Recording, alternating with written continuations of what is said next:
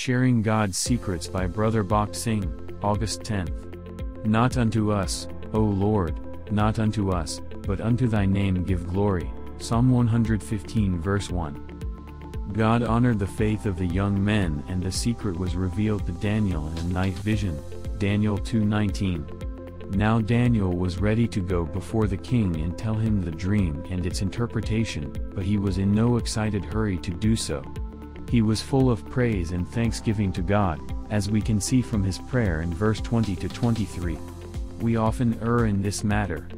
We fail to thank God sufficiently when he reveals anything to us. Notice how Daniel, in his prayer, utters these words, What we desired of thee. Verse 23. Thus he recognizes that because of their joint prayer, God had revealed to him the dream and its meaning. He refuses to take any honor to himself. Again before the king, Daniel refused to take any honor to himself. He said, This secret is not revealed to me for any wisdom that I have more than any living. Verse 30.